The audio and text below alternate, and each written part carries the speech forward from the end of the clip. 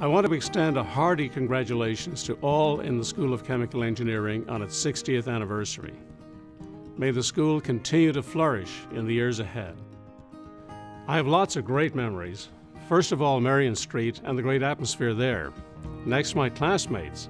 We were a small group of only about 15 each year, so we spent a lot of time together. And last but not least, the great UCD chemical engineering staff, ably led by Professor John O'Donnell, Professor Jim Walsh, John Kelly, and Paddy O'Flynn. Now, chemical engineering was a good foundation for me as I entered the oil industry back in 1968, and I found myself very well prepared for the technical work, particularly early in my career.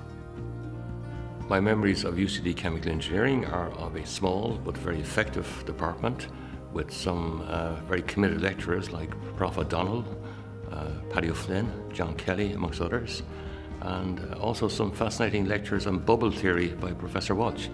I think one of the fondest memories I have at UCD was the annual trip that was organised by the Chemical Engineering Society and uh, we chose to go to Italy. So we spent a week exploring chemical plants.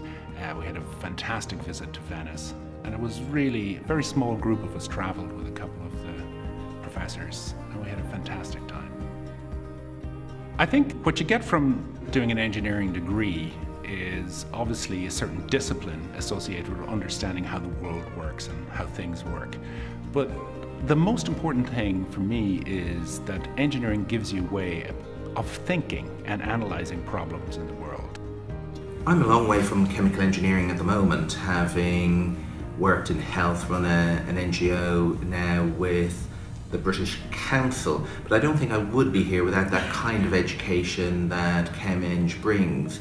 It's the understanding that things are interrelated, that um, a change in one thing has an impact on the other, and that's just as applicable in the field of cultural relations and cultural diplomacy as it is in chemical engineering itself. What I remember the most is the camaraderie and the team spirit and the friendships. I truly enjoyed those. My chemical engineering degree from UCD had a profound impact on my career. In my first job as a process design engineer for oil and gas platforms, and it got me in the door with Dow Chemical.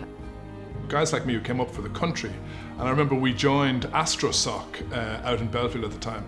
And for me before that, um, black holes and supernovae and things like that were kind of theoretical and they were in the same space as, as Batman and Superman. And to actually meet people at the AstroSoc uh, talks who actually worked and actually had a career in investigating these things was absolutely fascinating.